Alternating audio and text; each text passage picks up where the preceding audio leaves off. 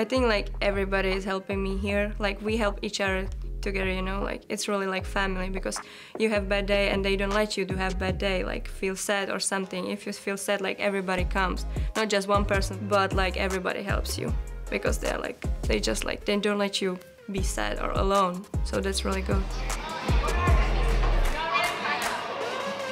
I feel like when I came here, it was just a family environment, which was really important for me. Everybody's really working hard in practice and we keep each other accountable. And honestly, we just go in with, to every game with that mentality like, this is South Florida and this is what we stand for. We come all come together, it just meshes so good. And as a result, we come like top 25 team from it.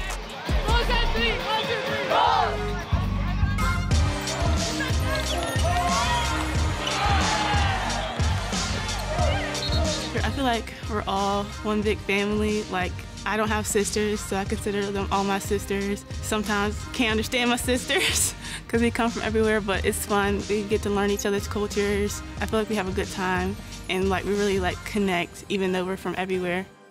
Just to have an idea, we start in August, right? And after one week, I felt like this is real family. On the locker room, I really believe we are like a big family. You know, we are always with each other. We're laughing all the time, having good moments, uh, and helping each other. Uh, on the court, we also have the chemistry, but we're still working on it because, as I said before, we have a lot of culture, so we gotta put that together. It's not easy, but we are on the good path, and that's all that matters.